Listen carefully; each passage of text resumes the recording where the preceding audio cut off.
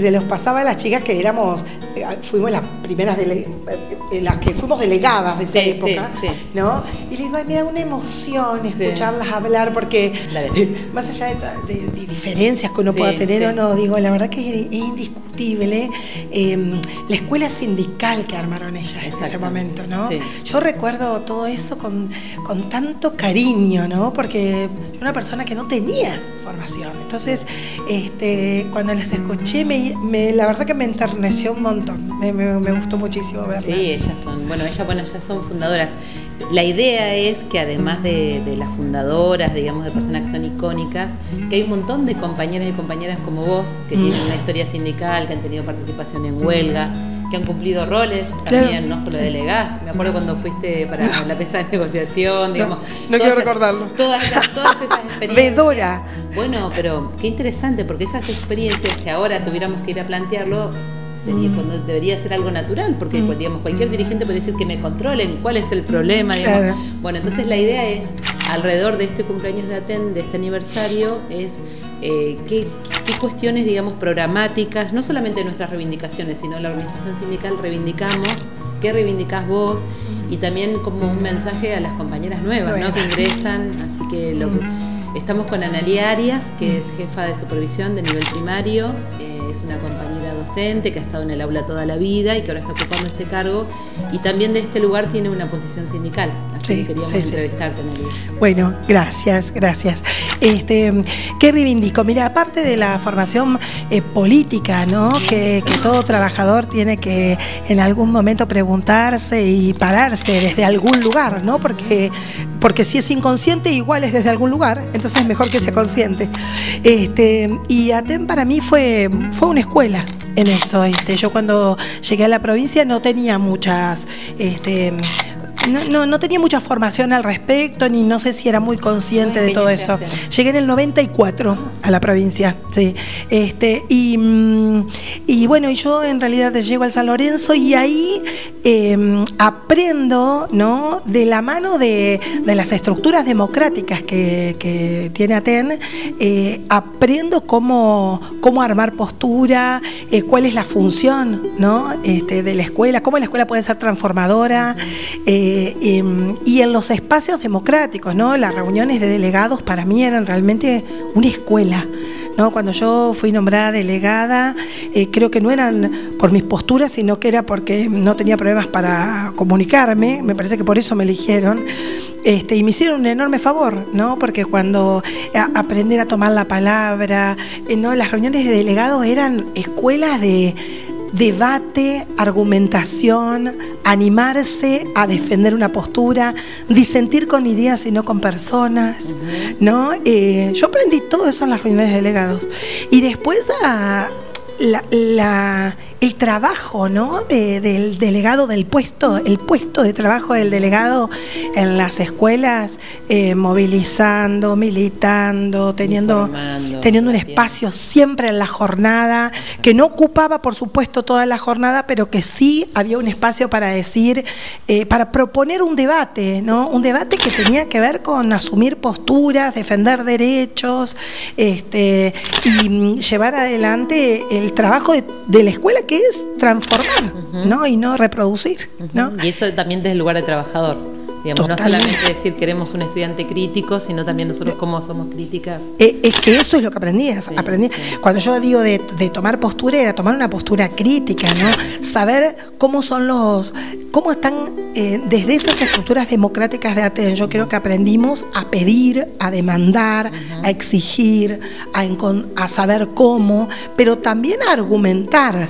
No eran pedidos ni demandas vacías. Exacto. Estaban cargadas de significado y los ensayábamos a esos significados, ¿no? Yo aprendí a hablar en público eh, con contenido político, eh, tuve que leer, tuve que estudiar, eh, aprendí a emocionar colectivamente, ¿no? Organizar la a organizar cómo íbamos a armar la moción, eh, cómo en, a veces inclusive en las, en las jornadas distritales que hacíamos, armábamos una, una moción y después militábamos para que los compañeros y las compañeras vayan a la asamblea a, votar esa moción, que era la del distrito. además de la asamblea, estaba la distrital, ¿no? Estaba la distrital. ¿Y eso cómo funciona, Analia, para que lo... Mira, en la, en la distrital nosotros nos juntábamos este, los, eh, las escuelas del distrito, o sea que ahí no eran solo primaria, ¿no? Y siempre debatíamos, era acerca de algo que después íbamos a hablar en la, en la asamblea.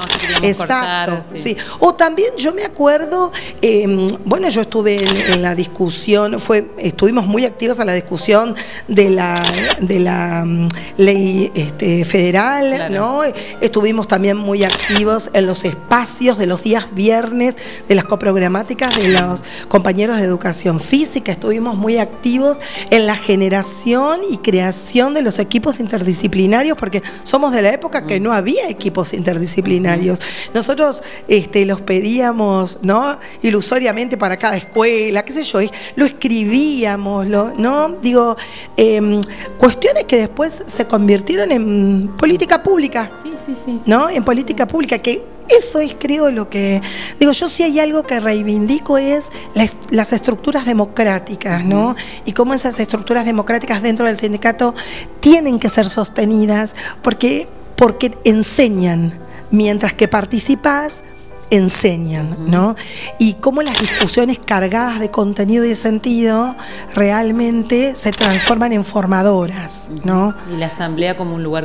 sí, la asamblea como un lugar de debate y de decisión, ¿no? De, em, de, que esa frase en Aten deciden las bases em, sea un, un acto político y concreto, ¿no? Una verdad, digo, ¿no? No una cosa, un, una cosa mítica, o, ¿no? Es, Como algo del pasado, digamos. Claro, pero mm, sí creo que había, como unas estructuras, a mí me parece que mm, eh, la construcción de la formación de delegados en las escuelas y de delegadas y la posibilidad de encontrarte este, sistemáticamente en reuniones donde ahí puedas poner en debate lo que pasa en tu escuela y buscas recurrencias sobre una seccional, ¿no? Este, inclusive nosotros a veces, las delegadas y los delegados, nos sacaban, eh, ponían en, ejercicio la franquicia para salir a, eh, hacer recorridas de escuelas. pero un montón de veces lo hemos hecho, ¿no? Y maravilloso, porque nadie se sorprendía ni le daba miedo, ni te lo, ni te lo negaba. Era natural que llegara el equipo de delegados. De hecho, yo recuerdo que del equipo de delegados surge también una, de las, una de las listas, ¿no? Digo, del equipo de delegados, mm. ¿no? Este, que por ahí uno, eh, en este ejercicio de la democracia que tiene Atende, que decidimos, de que nos dividimos en colores y demás, digo, este, que maravilloso, ¿no? Em, los delegados también fueron protagonistas de la creación de, una, de una lista. Y digamos, con toda esa experiencia, el cuerpo de delegados y delegadas, la asamblea, las distritales, esta formación que vos adquiriste, que también ayuda a una práctica pedagógica, ¿no? sí. Que están como muy ligadas. Totalmente. Si vos tuvieras que decirle algo a las compañeras que se acercan, que recién empiezan a trabajar, todas esas compañeras nuevas recién egresadas, sobre la necesidad de fortalecer el sindicato, ¿cómo, ¿cómo se lo dirías? ¿Cómo las invitarías a participar, a afiliarse? Sí, eh, yo creo que lo primero que hay que hacer es afiliarse este, nosotros, em, si hay algo que, me parece que hay que transmitir, ¿no? Eh, eh, como contenido, es que el movimiento de los trabajadores lo, armamos los trabajadores y las trabajadoras, no, no va a venir de ningún otro lado. Cuando vos te enterás que la mayoría de los beneficios que tenés laboralmente fueron obtenidos por el movimiento de trabajadores, creo que, que es el argumento más contundente de querer participar de, ese movimiento. ¿no? Y mm, la mejor manera de colaborar es ayudar.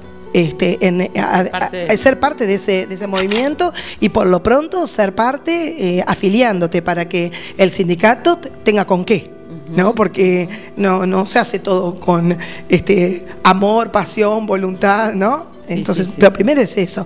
Y después, uno en el movimiento puede participar desde muchos lugares, ¿no? A mí yo durante mm, siempre milité fuertemente y siempre fui buscando, encontré mi lugar. Mi lugar no es, nunca fue ser este, autoridad sindical ni postularme, nunca me interesó eso, pero sí siempre este, participando y aportando mirada y preferí desde otro lugar, ¿no?